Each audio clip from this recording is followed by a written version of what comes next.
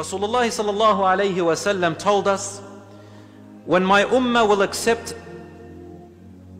as lawful five things, then destruction will become upon them. Number one, cursing and insulting and swearing.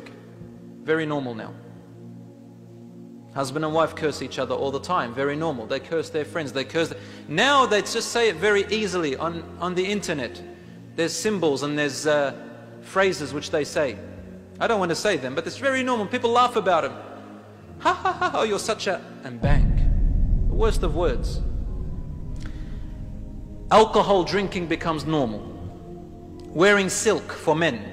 This is a metaphor. It can either mean physically they wear silk, which because it's haram for men to wear silk. But what it means figuratively is that men will imitate women a lot. Rasulullah said, and women will imitate men as well, of course.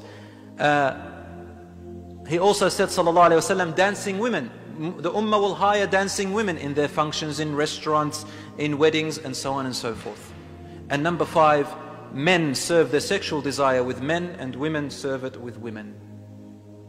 Rasulullah is highlighting that it will be among the ummah of Rasulullah among the Muslims. Don't we have gay imams now? I say imam, not shaykh, because imam means a leader, a destructive leader. Allahu Akbar. نسأل الله العافية